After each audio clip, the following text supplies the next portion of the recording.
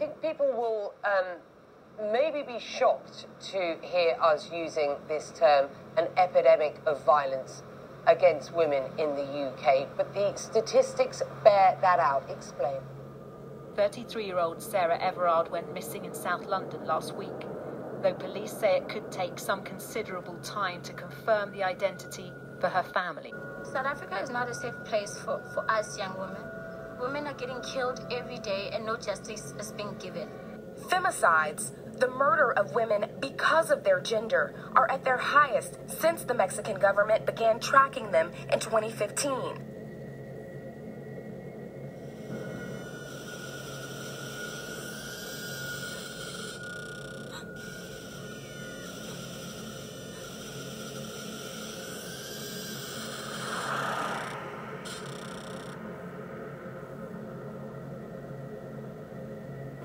Sabina Nessa, a 28 year old London schoolteacher, murdered minutes from home.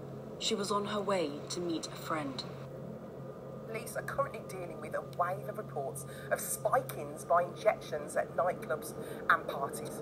Amnesty International finding 10 women and girls were murdered every day in Mexico in 2020. The increase in violence has led to a wave of demonstrations.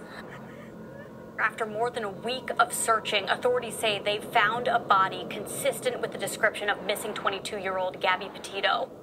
Another community in mourning. Another woman senselessly killed.